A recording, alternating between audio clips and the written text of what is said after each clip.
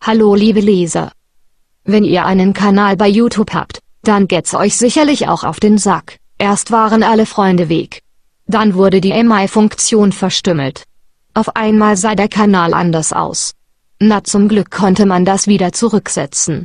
Aber jetzt, ganz inoffiziell, wie immer bei YouTube, wird verkündet, dass Ende März das neue Design einfach eingeführt wird, egal, ob wir das alte wieder haben wollten, oder nicht. Da gibt es keine Kanalkommentare mehr. Außer des Hintergrundbildes kaum mehr Gestaltungsmöglichkeiten, außer Partner, natürlich. Es wird schwerer werden, ein Netzwerk zu bilden, denn Freunde gibt es dort nicht. Zudem werden inaktive Kanäle gelöscht. Wie sich inaktiv definiert ist jedoch nicht bekannt. Was die Google und YouTube-Leuten nicht schnallen ist, nur Videos auf einen Server hochzuladen ist nicht alles. Wir wollen uns miteinander austauschen, Leute mit gleichen Interessen finden und uns zusammentun.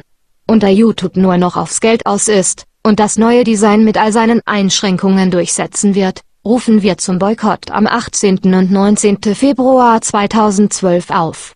Lasst Google spüren, dass wir was zu melden haben. Lasst sie zwei volle Tage lang keine Werbeeinnahmen bekommen. Denn darum allein geht es ihnen. Alles Gute.